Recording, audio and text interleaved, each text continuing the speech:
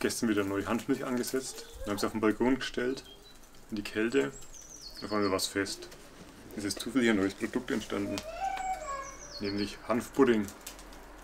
Das schmeckt fast noch besser wie die Milch. Wenn man den ein bisschen mit Schoko noch für mehr ansetzt, vielleicht dann ein bisschen Sahne oben drauf, dann kann man das jedem auch als gesundes Nahrungsmittel anbieten. Als Nachtisch vielleicht. Tja, warum ist es passiert? Okay, wie ist es zu dem Wunder gekommen? Ha, super. Ich habe das mit der Fischgelatine vom Dr. Switzer angesetzt dieses Mal.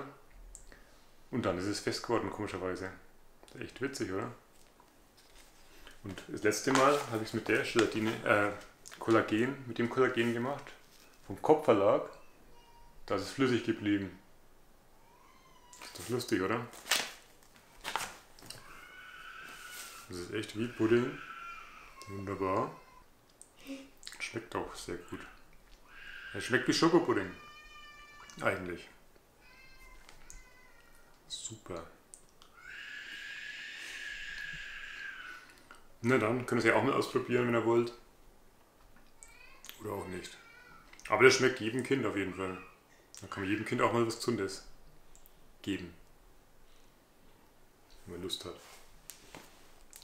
Ciao.